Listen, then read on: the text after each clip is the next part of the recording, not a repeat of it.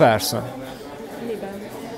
Há, hát volt bennem valami fajta előítélet azzal kapcsolatban, főleg, hogy úgy ilyen kis távolságtartás, hogy ne menjek közelebb hozzájuk, mert biztos, hogy kicsit veszélyesek lehetnek, és aztán abban változott a véleményem, hogy így kezdek rájönni, hogy valószínű, hogy sokkal jobb emberek élnek az utcán hajléktalanként, mint akiknek munkájuk van és biztos egzisztenciájuk.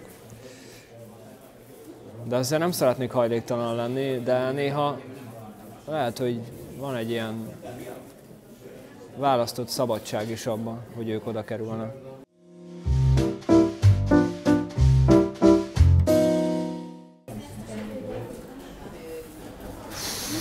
Hát azt most így pont érzem. Egy ételosztás volt, amikor először lementünk a Ferenciek terére az aluljáróba, és amikor először átadtam az első adag kaját, és amikor hazamentem utána, és így csak így leültem a konyhába, és ott ültem egy fél órát kb. és így nem értettem, hogy, hogy mi ez a nagyon furcsa érzés, hogy most is segítettem valakinek, de azért nem érzek egy ilyen katarzis érzést, de azért úgy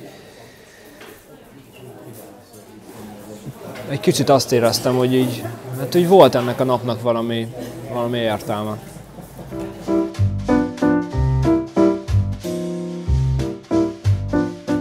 Hát azt, hogy csinálják azt, amit én.